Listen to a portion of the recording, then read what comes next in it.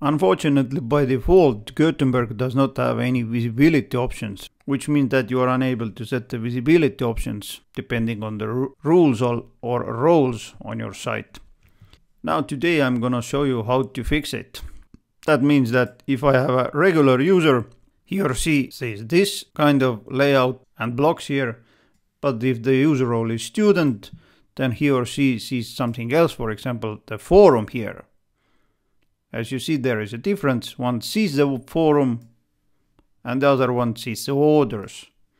Also, I'm going to show you some other ways how to use it. For example, all logged out users will see this message here. But if you're logged in and go to the sale page, you'll see another message here. One gets 30% off, another one gets 20% off. So if you're interested then jump in because it's gonna take only a couple of minutes to accomplish that. Now in order to make it work, go to the plugins and add new and search for block visibility. This one here.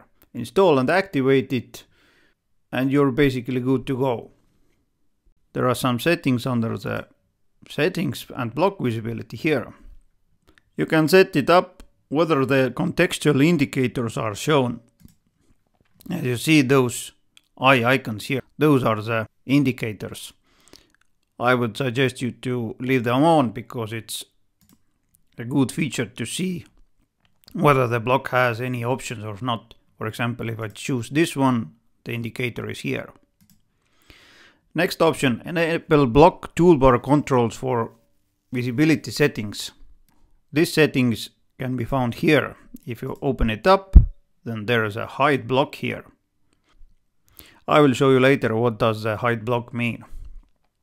Next settings, you can restrict the block visibility controls only to the editors, authors or contributors. For the administrator it's always on. If you don't use it then leave it off. Enable full control mode, use with caution if you're interested what is it, then click on this link here. The explanation is here. I would suggest you to leave it off. And if you want all plugin settings to be removed after the block visibility is un uninstalled, then activate this one here. Here are some visibility controls, whether the hide block or date or time or visibility by user role are shown. And these are the options here. You can leave them on or turn it off. I usually leave them on. So those were the settings. Now let's take a look how to use the plugin. Now I have a banner here, 20% sale for all products. If I click on this block here, the visibility options are here down below. I want to show this message only for logged out users. Take a look. If I update it and see the page, then I don't see this message because I'm logged in.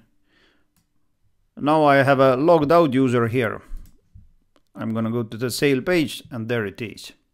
So we hide this message only for logged in users.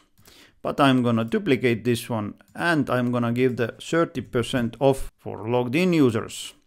Now I'm gonna go to the visibility settings and this message is gonna be shown only to logged in users. Let's take a look.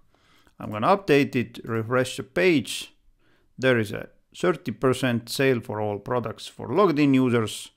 I am going to refresh the page and 20% only for logged out users. This is a message here. Now let's take a look at the other option we can use it. This is the my account page here. And for the logged out users, it looks like this. nothing fancy here, but I created a fancy dashboard here, which looks like this. Nice icons. Every icon points to the endpoint, for example, edit account. I can use it. I can change it here. Orders and so on. This here is shown only to the regular customers. How did I do that? I'm gonna choose the row here. Now I'm gonna go to the visibility and I choose user role. I'm gonna select the student and hide on selected roles. That means I'm gonna hide this one only from students. All other roles will see this one here. Now let's see what the student sees. I'm gonna log in as a student. And as you see, student sees something else because there is a forum icon and link here. How did I do that? I created another block here with icons and under the visibility I chose user role and student. This time I did not select the hide on selected roles, which means show this block only for students. I can do that with every block. For example, I click here on this icon box block and I'm gonna tell it to hide block. Now, if I'm gonna update it and refresh it, then as you see, the block is gone because I hide it. I'm gonna enable it again. Now let's take another example. This one here once again. So maybe I want to show this sale notification only for a certain time. Therefore, I'm gonna start it today and I'm gonna end it on Sunday. That means that this rule here is only shown during this time, which means that you can schedule your messages or banners or whatever you want to show. So to summarize, the visibility by user role all means that everyone sees it. Public means that it is visible only to logged out users. Private means that it is visible only to logged in users. And if you choose the user role here, that means that only author and administrator will see it.